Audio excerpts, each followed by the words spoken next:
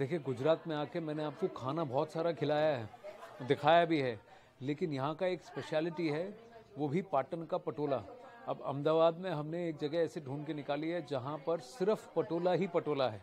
लेकिन ये प्रॉपर पटोला मुझे नहीं आता so I have got Prachi ben here with me I have got her to help us out so she is also a designer train to be one so what is special about Patola let's start there and then we'll go to the shop and what we got here. So, uh, patola is uh, very much special because of its weave.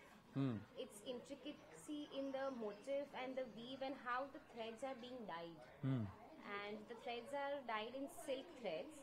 So it starts with dyeing of the uh, threads in natural dyes, and then how it's being weaved by the weavers. That is the main speciality of the patola. Speciality and we've fabric. got one on the mannequin here and the first thing you feel like doing is कि भाई जरा touch करके देखे तो सही feel करके देखे तो सही इस दुकान में जिनकी दुकान है उनसे पूछते हैं निर्मल जी नमस्ते thank you for having us here सबसे पहले तो आप मुझे बताइए ये सब क्या है और पटोला की हिस्ट्री क्या है नॉर्मल ये जो है ना ये सिंगल इकट पटोला भी हो हाँ तो इसमें नॉर्मल जो होते हैं पटोला में दो टाइप के होते हैं एक सिंगल व्यू होता है और एक डबल व्यू होता हाँ। है। जो डबल व्यू होता है उसमें पाटन पटोला का जो रियल डबल इकट पाटन पटोला बोलते हैं वो होता है। हम्म। और ये सिंगल इकट में क्या होता है इसमें खड़े धागे प्लेन होते हैं हम्म। एक ही कलर का मतलब इसमें रेड कलर है और सिर्फ़ आधे धागे में डिज़ाइन है। मतलब ये सिंगल व्यू बोलते हैं। तो ये सब वीव्ड है ये डाई नहीं है? नहीं वीविंग वी वीविंग है तो अगर मैं पीछे देखूँगा तो मुझे इसका थ्रेड दिखेगा। बाप रे। और ये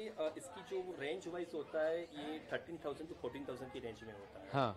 और उसके बाद तो और इसमें कलर्स सारे कलर्स ये सब नेचुरल कलर्स होते हैं कि ये जो एजोप्रीडाइज होते हैं हाँ। मतलब कि ये काफ़ी अभी का एजोप्रीडाइज अच्छा रहा अच्छा होता है। और ये जो सिल्क है ये सिल्क वर्म से एक्सट्रैक्ट ये इसकी भी कोई खास ये मलबरी सिल्क होता है। मलबरी सिल्क मलबरी सिल्क होता है। हाँ। और ये सिल्क का जो अभी मेड इन इंडिया ही है इंडिया ही। है। तो ये यूनिक क्यों है पाटन का ये पटोला?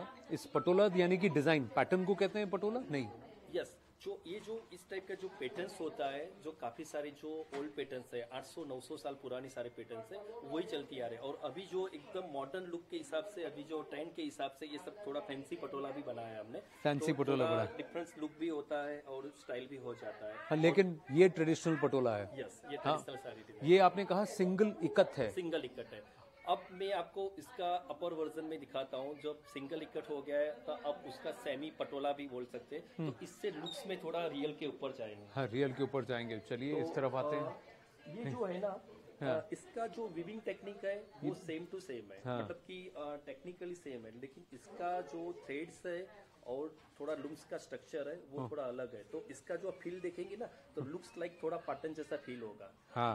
लेकिन उससे अच्छा बेटर ऑप्शन ये दिख रहा ये है थोड़ा भारी भी लगता है हाँ, उससे। और थोड़ा वेट थोड़ा हैवी है। हैवी लुक भी दिखेगा तो इसकी जो प्राइस होती है जो जैसे वो भी भारी होगा। ट्वेंटी सिक्स थाउज़ेंड की रेंज में होता है